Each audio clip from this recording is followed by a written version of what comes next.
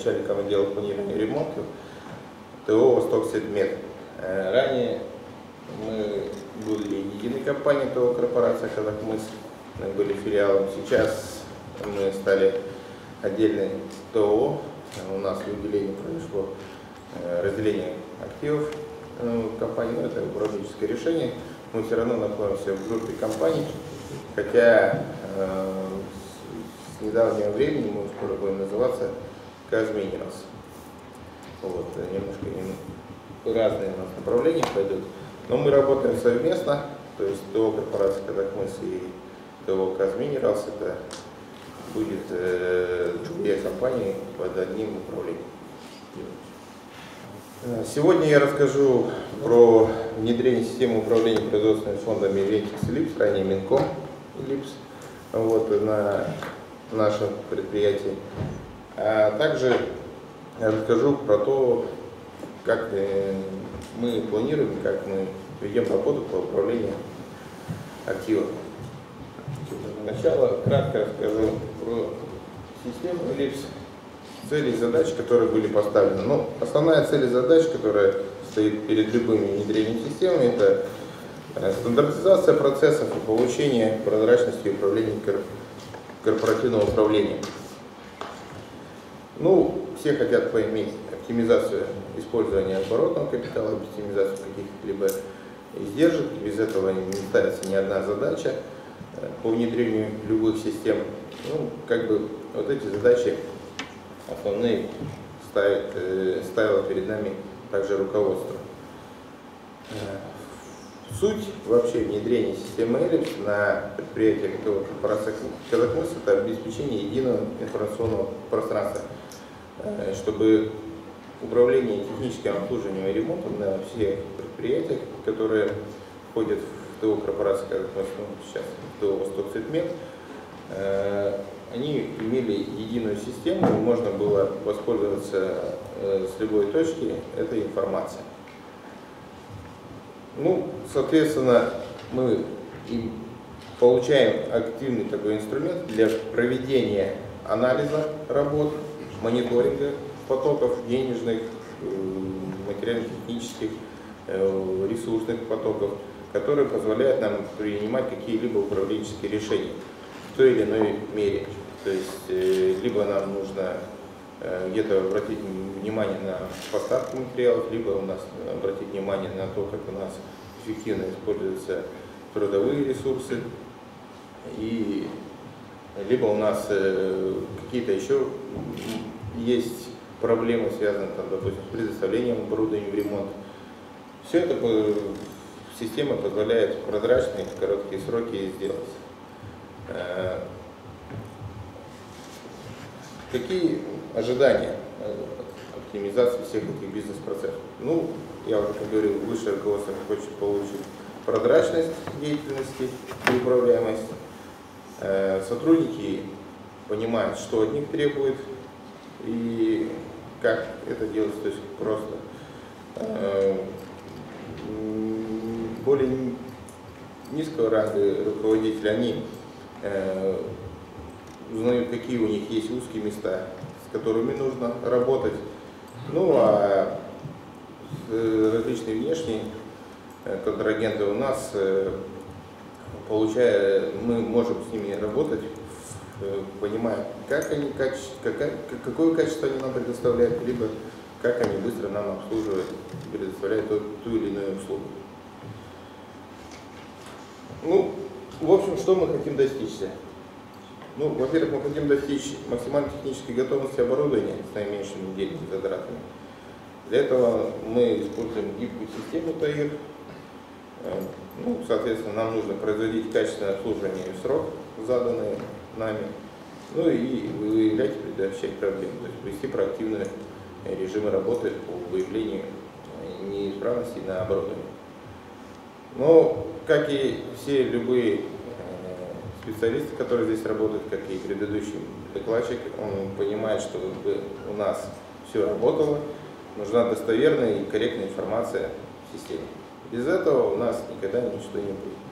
Как и уже говорилось ранее, что да, любую систему можно обмануть э, и что-либо сделать. Но я более подробно расскажу сейчас про систему Ellipse. Э, система Ellipse имеет четыре основных блока. Это управление активными работами, управление МТР, управление финансами и управление персоналом. Э, управление активными работами – это самый главный основной блок, с которым э, наши специалисты работают, и э, без него не будет работать вообще система. Вот. Но и без управления МТР, и управления персоналом, и управления финансами система также не будет работать. Если не будут настроены склады, не настроены счета финансовые, различные настройки, и не будет заведены данные о персонале, то и управление активами тоже никак не. Э, в рамках проекта что сделано? Ну, первое, это сделан реестр оборудования. На предприятиях на каких я дальше расскажу. Э, подготовлена, выбрана стратегия обслуживания, подготовлен классификатор. В реестр оборудования также включается э, справочник моделей и групп оборудования. Также есть в реестре оборудования паспорт электронный, э, в который мы на все единицы оборудования ввели основные паспортные данные. Э, не секрет для всех, что паспорта бумажные со временем имеют свойство теряться, как-то либо э, там, приходить в негодность, то маслом зальют, то еще что-нибудь. Э, когда приходит новый человек, он может не найти паспорт. Чтобы это исключить, э, перед проектной командой была поставлена задача создания электронных паспортов. Для всех единиц оборудования были созданы э, так называемые ну, в системе стандартной работы, которая включает в себе такие вещи. Что нужно делать, например, техническое обслуживание или ремонт, кем нужно делать, то есть какой персонал, какая квалификация, сколько человек, сколько трудозатрат и чем нужно делать, это какие используются материалы. То есть это технологические карты. Э, ну, технологические вот эти карты стандартной работы, либо модельный заказ в других системах, либо э, еще как-то по-другому называется, у нас были сформированы для всего основного технологического оборудования. Э, и как бы охватывает в целом на 70% всего оборудования. Почему 70? Потому что в процессе работы у нас есть оборудование, которое обслуживается по факту выхода из строя. Но есть такие единицы оборудования, которые не влияют на основное технологическое оборудование. Для них создавать специально, отдельно планировать ремонт и не имеет смысла. Как только она выходит из строя, его просто меняют. Планируется именно замена. Э, для каждой единицы оборудования также было настроено, ну, так называемые в системе ELIPS регламентные работы, где-то это называется расписание обслуживания, то есть это график выполнения работы. Э, система ELIPS позволяет осуществлять э, вот этими регламентными работами осуществлять настройки планирования. Настройки планирования осуществляются следующим образом. Либо по наработке э, для вот э, самоходного оборудования, для э, части стационарного оборудования, это насосного парка, мельниц, там, где есть счетчики наработки моточасов, удара часов, просто часов работы, осуществляется планирование через метод по наработке. Также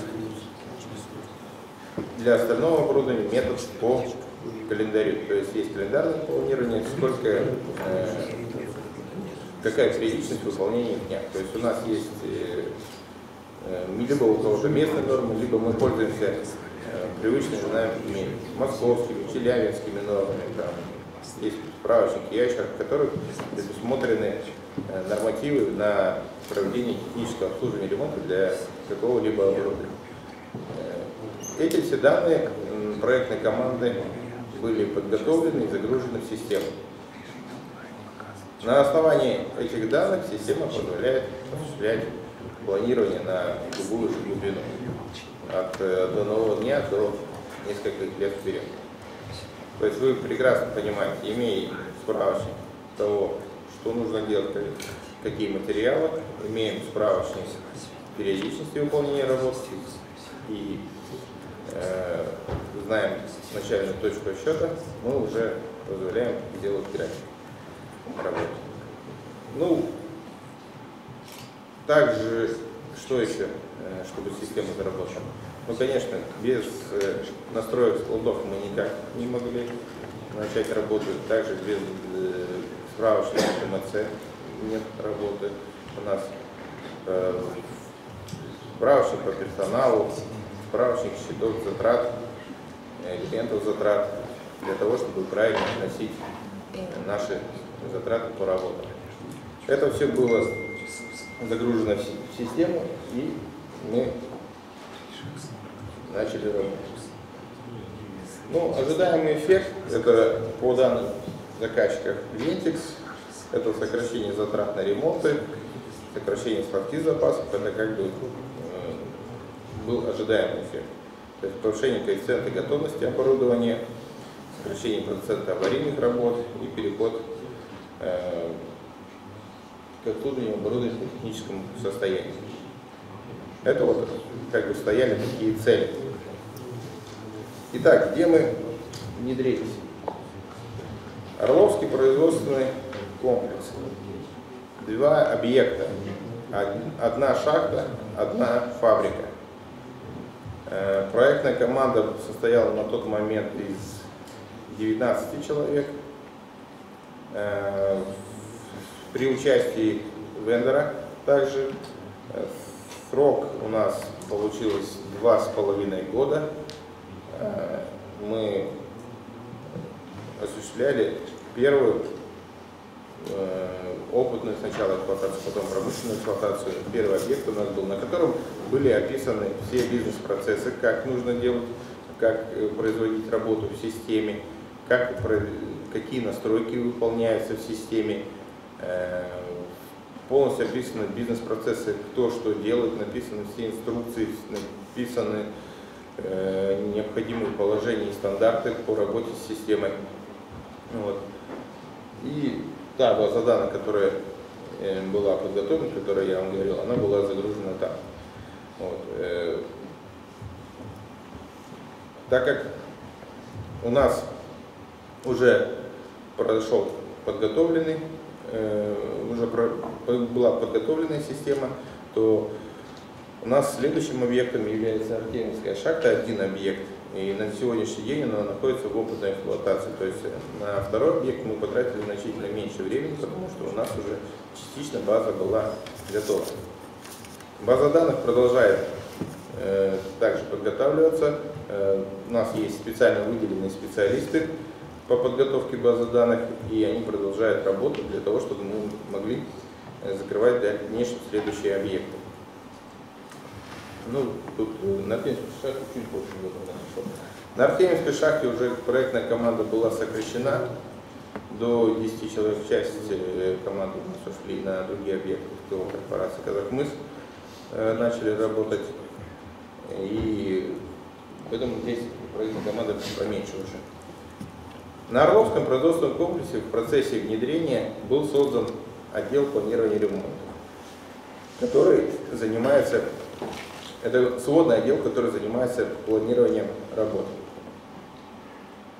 Э, его состав на данный момент 12 э, человек, включая начальника.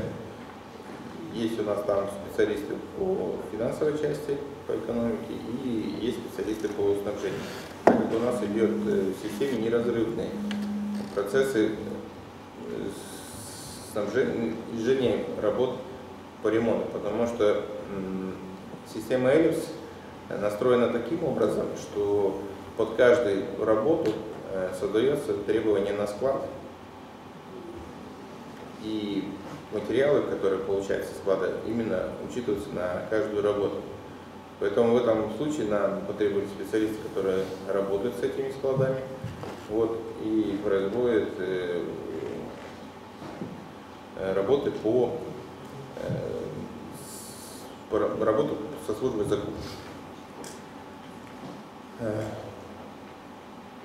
Чтобы, что, какой результат у нас получился после внедрения 2013 год. Сейчас у нас 2014 год, и отдел планирования работ за этот год что сделал? Ну, во-первых, он начал э,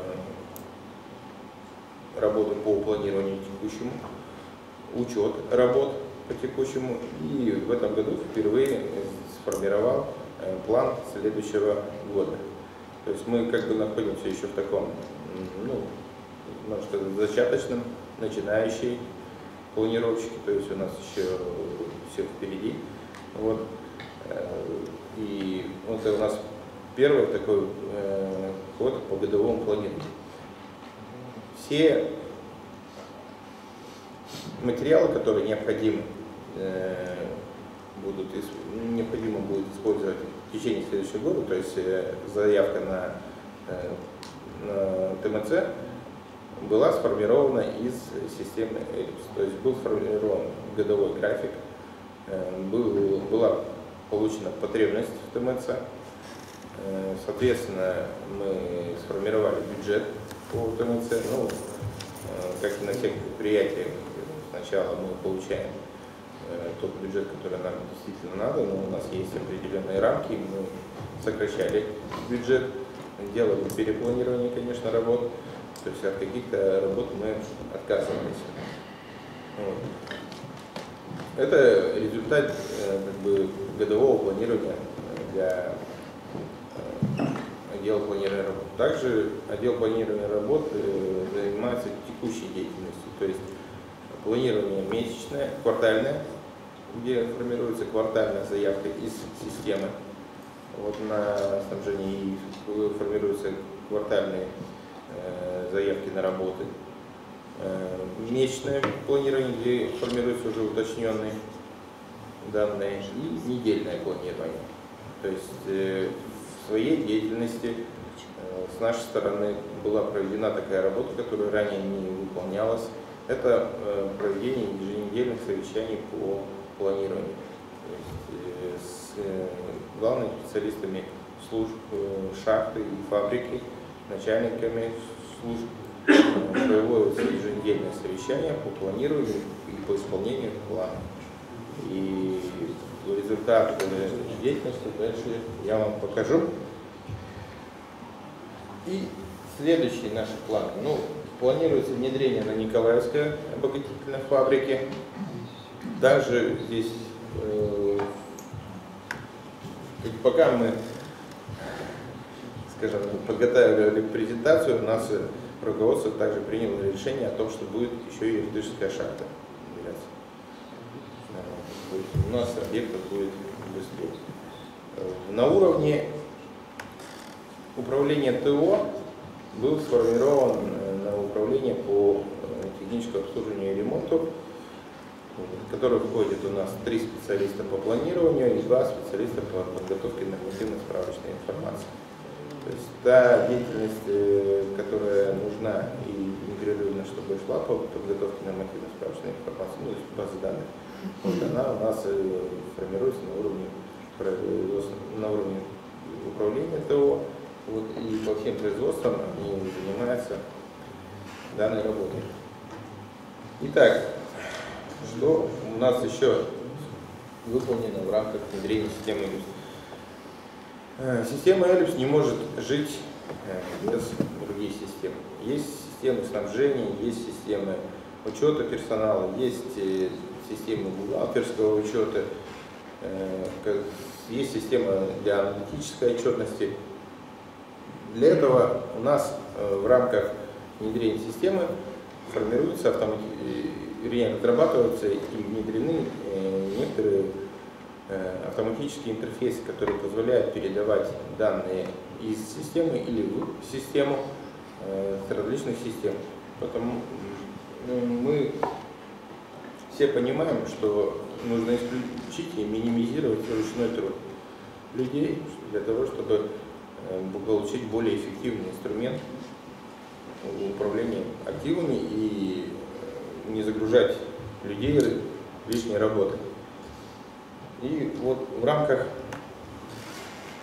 внедрения на двух объектах э, разработаны следующие интерфейсы. Но интерфейс системы э, снабжения это IFS Procurement, у нас такая система стоит, и система по управлению персоналом IFS HR. То есть мы э, формировали и допустили в работу вот такие вот интерфейсы. Это номенклатурный справочник, заказы на закупку, э, IFS HR там заказы на закупку, там данные персональная печаточка. Вот. Э, на, в рамках Артемьевской шахты нам э, произошли изменения в бизнес-процессах. То есть э, необходима была доработка интерфейса по номенклатурному справочнику и заказу на закупку. И э, для учета ТМЦ в бухгалтерской системе ЭРА у нас э, разработан интерфейс по передаче межскладских перемещений. И в работе у нас интерфейс для аналитической системы Cognos, э, передачи данных по списанию ТМЦ. Ну, там ну, очень много данных для того, чтобы э, можно было производить более быстрый анализ, потому что система Cognos работает очень быстро и хорошо с кубами. Это настройка над ERP и YAM системами, которая позволяет быстро обрабатывать информацию и выдавать Э, в удобном графическом, либо там еще каком-то виде, табличном, там, неважно, э, информацию для э, высшего руководства. С ней мы сейчас производим интеграцию. Итак, в работе у нас сейчас порядка 260 пользователей по данным на, на август месяц. Ну, сейчас они пока не изменились, но как мы будем новый объект внедрять, будет больше. Итак, эффект внедрения системы на Орловском производственном комплексе. Ну, создана база данных стандартных и регламентных работ на все основные технологические уровни, о котором я уже говорил. Мы автоматически формируем графики ремонтов и обслуживания. Генерация нарядных работ, ну, у кого-то заказы наряд, будут нарядные работы, трудности перевода различных систем. Э, Получили реально обоснованный бюджет на обслуживание основных фондов с высокой точностью планирования. Э, вот то, что мы добились тех результатов, которые у нас как бы стояли. То есть мы долю плановых работ увеличили до 70-85% в зависимости от оборудования, ну, на каком участке она работает. Соответственно, сократили аварийные работы от 30 до 15%.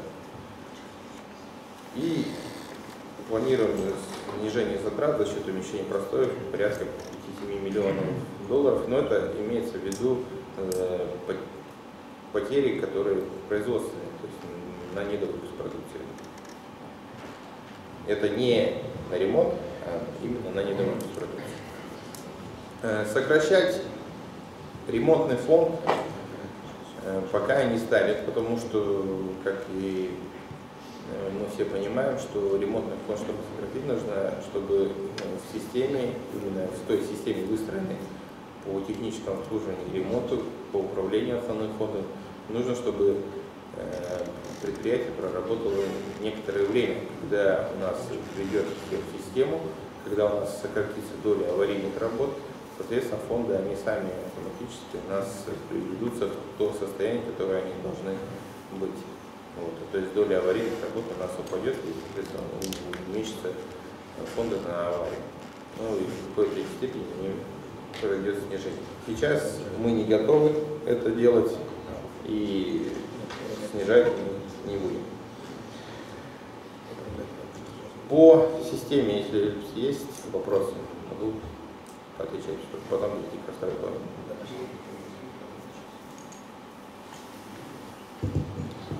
ну, коллеги из полюса. Это ваши коллеги, которые реализовали проект планирования. Есть какие-то вопросы?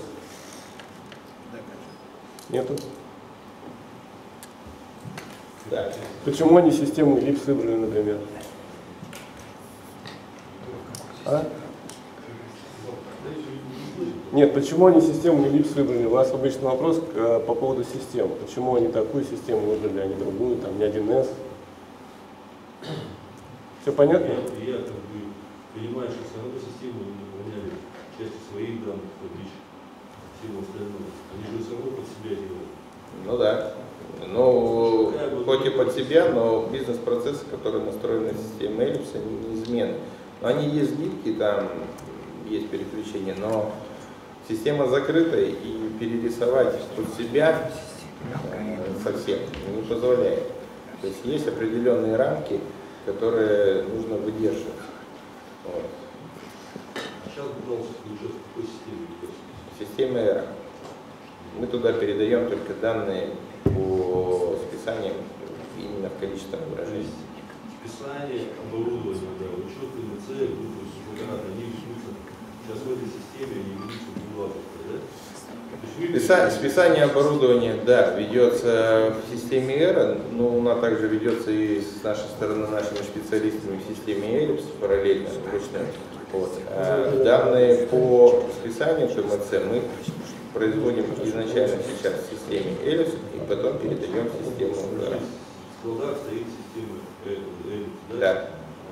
То есть бухгалтерскую систему брали, а в бухгалтерии получаем. У нас, э, понимаете, э, на момент внедрения на складах не было автоматизировано. Мы как бы вели вручную, а потом передавали в бухгалтерию. И нам с этим было несколько проще. С одной стороны, с другой стороны, несколько сложнее. А я знаю, что основные средства бухгалтерии? Сам нет. Мы связываем их через э, специальный код, ну, код основной, элементарный номер у нас Они есть. связаны. Да. Бухгалтерия знает, на какое основное средство Да. Да.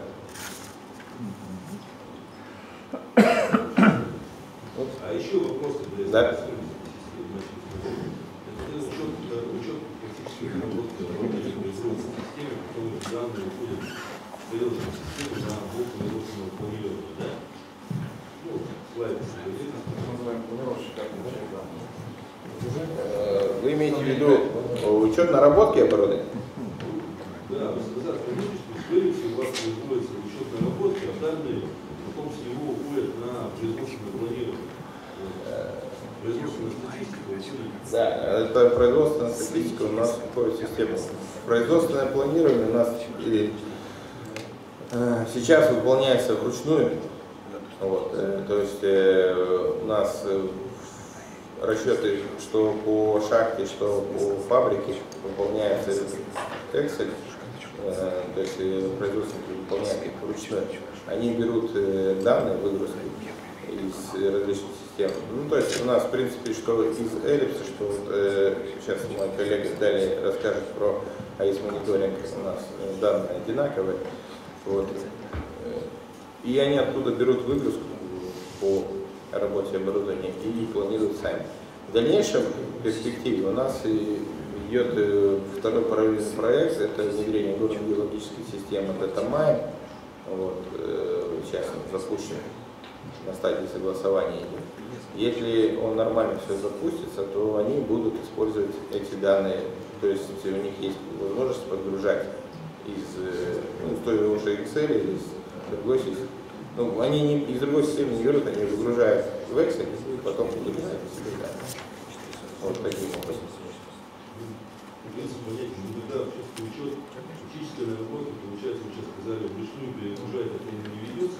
Нет, учет фактически наработки ведется. У нас есть э, специальные люди, выделенные на это статотдел, которые ежесменно вводят данные по работе не Нет, они сидят в диспетчерской службе, вот, и там вводят данные.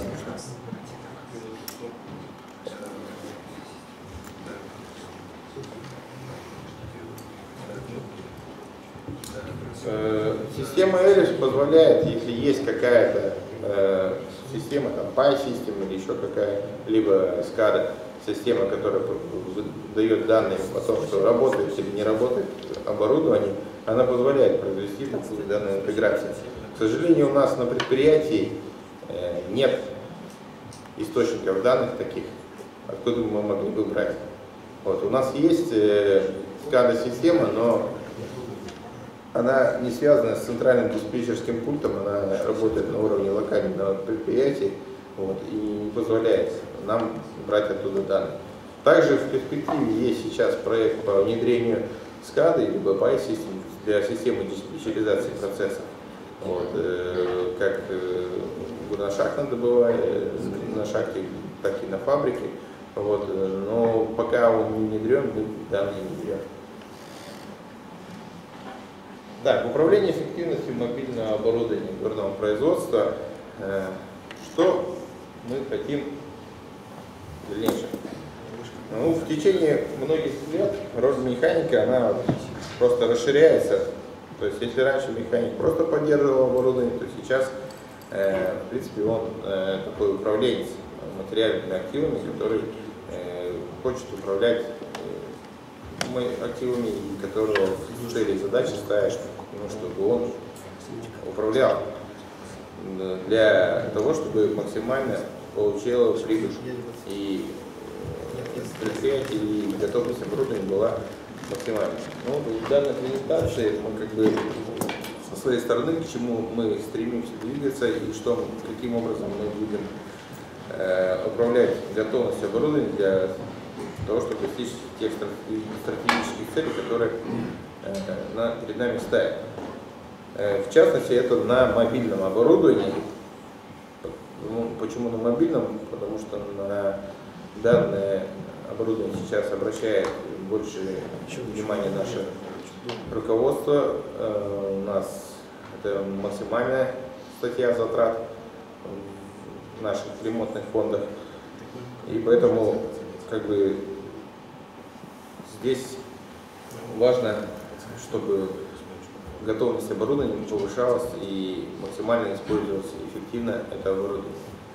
Ну, обслуживание это фактор такой самый важный, который э, предоставляет горнодобывающей компании лучшую возможность влиять на производительность, эксплуатацию и готовность оборудования. Ну и, соответственно, контролировать это. Э, Данную возможность определяет это отслеживание технического состояния машин, планирование технического обслуживания ремонта, обеспечение запчастями. Ну, есть там еще такие технические моменты, правильный подбор рабочей жидкости, э, правильный выбор оборудования и непосредственно обучение персонала. Без этих всех компонентов как бы, мы можем э, достичь максимальной эффективности оборудования. А вот чтобы понять, э, правильно ли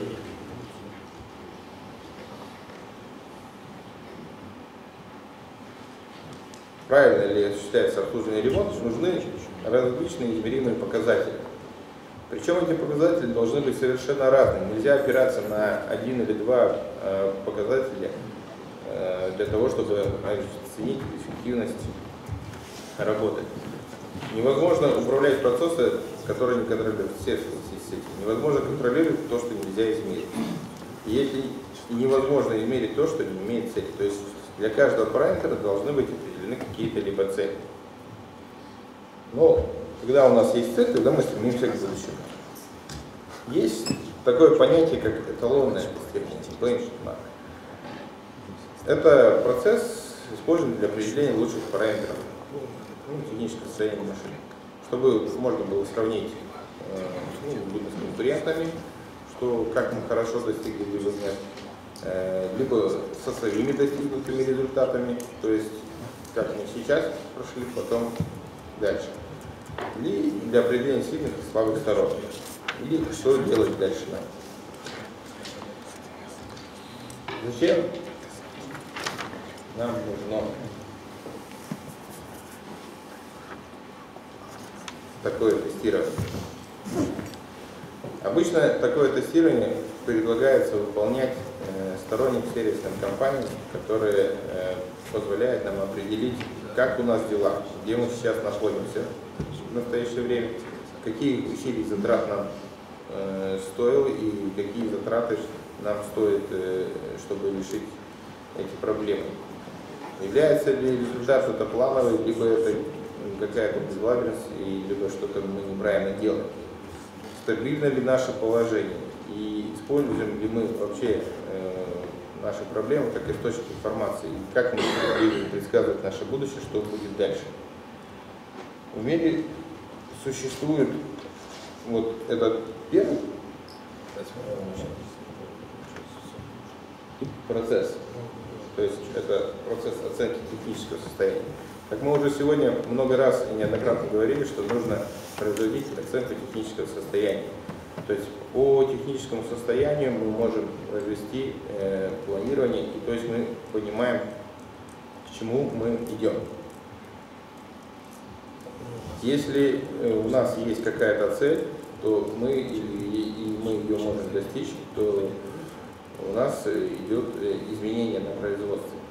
Вторым немаловажным э, критерием для оценки нашей деятельности это существуют различные ключевые показатели эффективности. Их очень много. Сегодня показывали, я вот вам представляю, что какие есть ключевые показатели для ну, для самоходного э, оборудования. Это среднее время простое, среднее время ремонта, индекс работоспособности, коэффициент технического обслуживания, э, ну, КТГ, КИО у нас есть, э, коэффициент выполнения э, плановых ремонтов, коэффициент выполнения плановых работ. Есть показатели качества проведения, сколько тонн в час добыли, там, стоимость какой расход топлива, э, контроль полезной нагрузки и как мы выполняем, если у нас сервис сторонней компании договорные обязательства. Используя тот и этот показатель в целом, мы э, можем получить э, наш э, эффективный, э, мы можем получить наше эффективное управление э, процессами технического обслуживания и ремонта. То есть у нас есть какие-то эталонные значения, это бенчмарки, они проверили нам э, наше техническое состояние и сказали, что мы отклоняемся от этих показателей. А также есть наши внутренние ключевые индикаторы эффективности. Вот, э, из них мы э, вот, на данный момент определили вот такие вот основные. Это готовность, работоспособность машин, среднее время между остановками, среднее время между ремонтами, коэффициент технического обслуживания, ну, эффективность планирования, то есть количество плановых и неплановых ремонтов, точность обслуживания, то есть как точно у нас выполняется работа.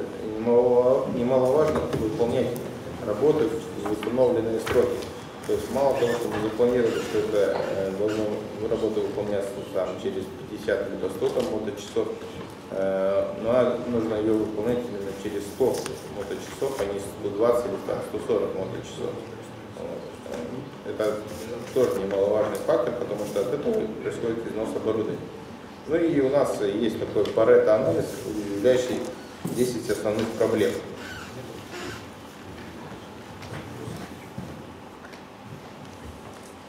Так,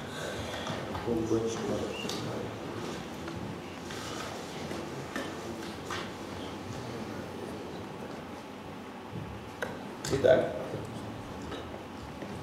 среднее время между ремонтами – это единица измерения надежности оборудования. На, на что оно влияет? Ну, первое, на коэффициент технической готовности, то есть э, эффективность использования рабочей силы и ресурсов. И от чего она зависит? Она вообще зависит от самого первого, это от качества планирования и надежности машин на данный момент. Если у нас плохое техническое состояние э, и плохое качество ремонта и плохое, и плохое планирование, то среднее время между простоями будет снижаться. Соответственно, это э, наш плохой показатель. То есть у нас плохо работает либо планировщик, либо работает плохо э, наш э, ремонт. То есть либо сервис, либо механик. Либо у нас машина в таком состоянии, что у нас она постоянно ломается. А вот по бенчмарку среднее время между ремонтами для различных машин определены вот этой таблице. То есть у нас есть показатели, к которым нужно стремиться. Среднее время между ремонтом, но это определяет количество времени, затраченного на ремонт. Э, Здесь э, самое главное, что он и влияет, и зависит от того, как используются эффективные ресурсы и э, рабочая сила. Э, влияет также на коэффициент технической готовности э, машин, ну, оборудования. Э, позволяет э, оценить э, вообще ремонтно-пригодность машины, надежность ее и эффективность организации управления ремонтом оборудования и вообще э, управление, ну, управление ремонтом оборудования. Потому что если у нас среднее время ремонта вырастает, значит у нас либо машина не ремонтно пригодна, слишком сложно ее э, ремонтировать, какие-то узлы э, тяжело менять. Либо у нас э, рабочая сила, тот же сервис, э, выполняет работу слишком долго. То есть отклоняется от плановых показателей, соответственно, нужно с этим де- делом что-то делать. Вот, то есть работать по тому, чтобы либо менять сервисную компанию, либо если она не своя, э, либо э, если своя, то производить обучение э, специалистов о том, чтобы время, которое необходимо затрачивать на ремонт, они выдерживали, либо сокращали. Индекс эксплуатационной готовности. Ну, это э, такой вот э, средний показатель между э, МТБС и МТДР, то есть э, простоев и э, продолжительных ремонтов. Э, в отличие от большинства индикаторов, он э, позволяет оценить и развить эксплуатационную готовность на такие составляющие, как чистота и продолжительность простоя, и принять необходимые меры. То есть, э, как часто мы ремонтируем. Если у нас индекс эксплуатационной готовности э, снижается, э, то, соответственно, нам нужно принимать какие-то меры. Вот эти три показателя э, производят качество оценку как оборудования, так и сервиса, который у нас э, выполняет ра- работу. Теперь у нас есть планировщики, и нам нужно понимать, как э, они работают. У нас есть процент плановых простоев. Э, Этот э, э, коэффициент позволяет оценить, как мы планируем, какие работы у нас были запланированы и э, как эффективно у нас э, выполняется планирование. Ну и также мы и оцениваем а, то, насколько надежна у нас э, машина и насколько у нас хорошо э, выполняется ну, мониторинг, либо оценка диагностика технического состояния машины. То есть если у нас диагносты работают плохо, соответственно, неплохо дают информацию планировщику, э, либо планировщик диагностом плохо работает о том, что какие работы нужно запланировать наперед, чтобы запланировать и выполнять работы по плану, а не э, сломя голову бежать и выполнять аварийную работу и устранять пожар. Э, Вот как бы такой вот показатель, который мы вводим сейчас. Есть, существует, опять же, на уровне бенчмарк общий уровень контрольных показателей. Какой должен быть процент, процент план простоев на различных э, моделях машин, ну, э, на в этот показатель также показывает э, заинтересованность и инициативность сервисной службы. То есть если у нас сервисная служба инициативная, она готова выполнять все в срок и по плану, и у нее их диагносты работают хорошо, вот, то мы э, достигаем данных плановых значений. Ну, коэффициент технического обслуживания. Э, Такой показатель безразмерно отражает количество человек часов потраченных на ремонт и БТО, часа на эксплуатацию оборудования. Он указывает на объем усилий, необходимый для по- поддержания оборудования в эксплуатации, то есть э, определить эффективность направления рабочей силы на необходимые э, участки и ее эффективность.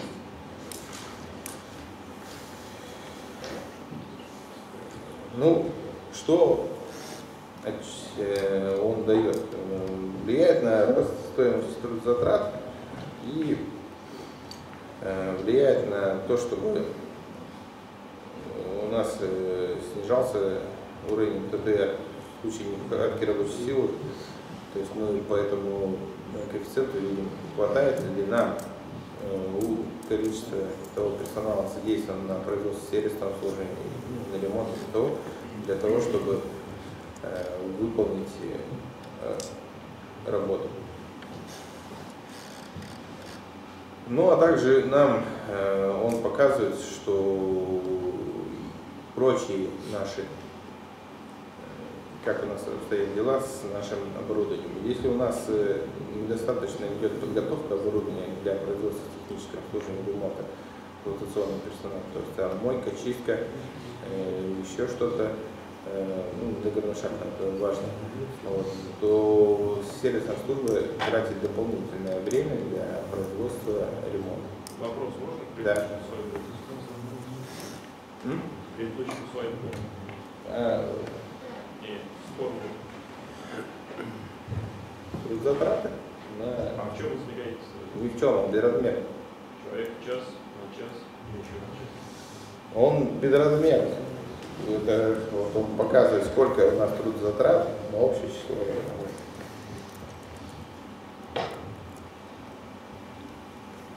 Может, тогда просто часа? Человек. Ну, вообще он пол- получается сколько человек. Часы сокращаются. Там, человек получается.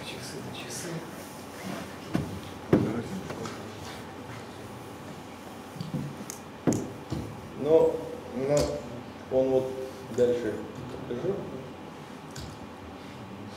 Э, Мировые показатели в среднем по каждой единице оборудования вот показано. То есть, допустим, пол человека на машину в среднем там, за, за месяц. То есть за период. Все зависит от того, какое оборудование.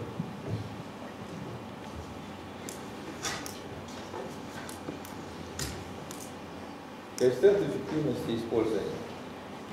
Ну, этот коэффициент сегодня уже говорили.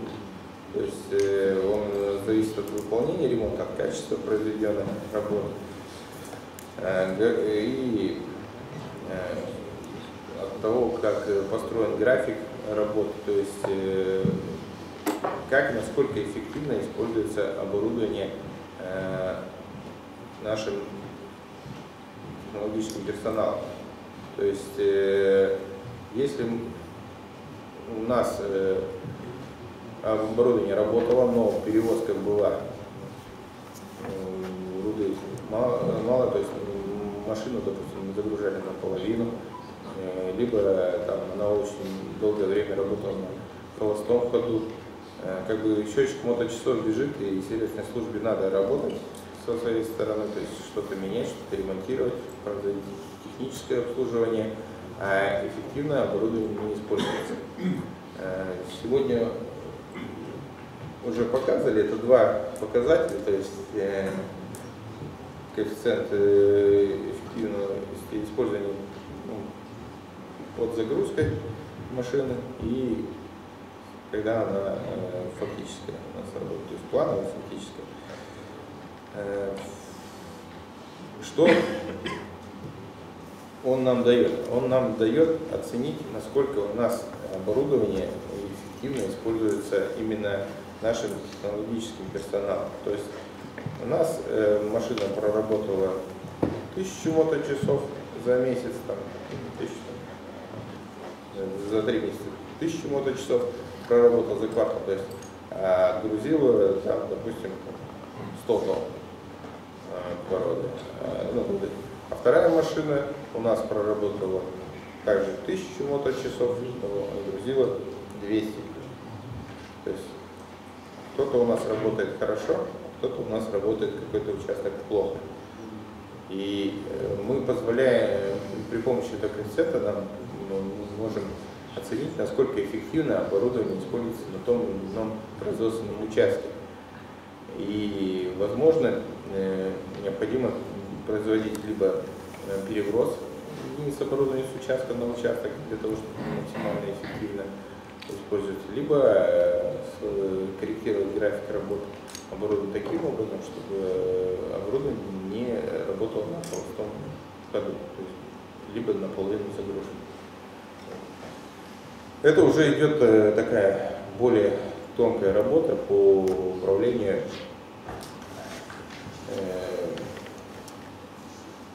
эффективности работы оборудования. И такой вот еще один очень хороший показатель это Парето-анализ.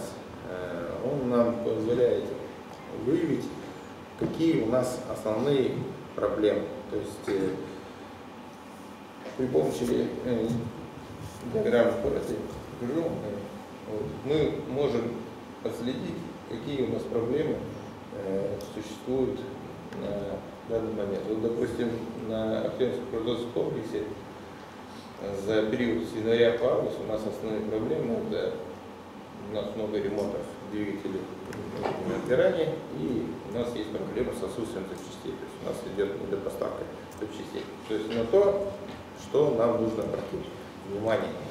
Э, Когда у нас есть э, различные системы, э, мы можем, соответственно, ну, быстро получить такой анализ и на что нужно наиболее быстро обратить внимание. Вот. Все вот эти вот показатели, которые я вам рассказал, это у нас э, в пер- перспективе что-то уже внедрено, что-то у нас будет внедряться для оценки деятельности нашей службы. Потому что не оценив, как работать, не дав э, им план, докуда нужно дойти, не получая результат сколько, не проводя э, постоянно анализ, достигаем этот план, мы, мы не можем управлять эффективно оборудованием, не можем управлять эффективно техническим обслуживанием и ремонтом. То есть э, и выявлять те причины, по, ну, по которым у нас э, не работает система. То есть мы можем выстроить систему, нарисовать кучу документов, сказать, что нужно работать так, вроде провести обучение, но не дав определенных показателей людям, мы не можем э, в результате получить э, от них должный результат и достичь своих целей. Ну вот, собственно, у меня все.